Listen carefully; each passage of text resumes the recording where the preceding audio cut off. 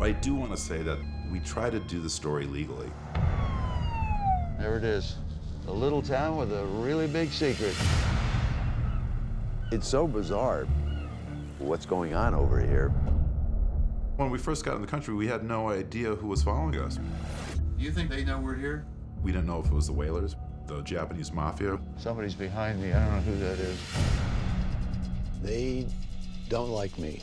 They don't like my message. Rick is world famous for his work with dolphins. I feel somewhat responsible because it was the Flipper TV series that created this multi-billion dollar industry.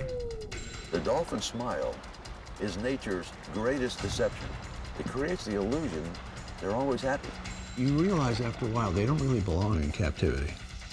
I'd never seen so many dolphins before. The Japanese people don't even know about it. They take the boats around to the secret cove that nobody could see.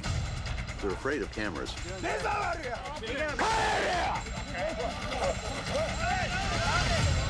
They said if the world finds out what goes on here, we'll be shut down. They were hiding something.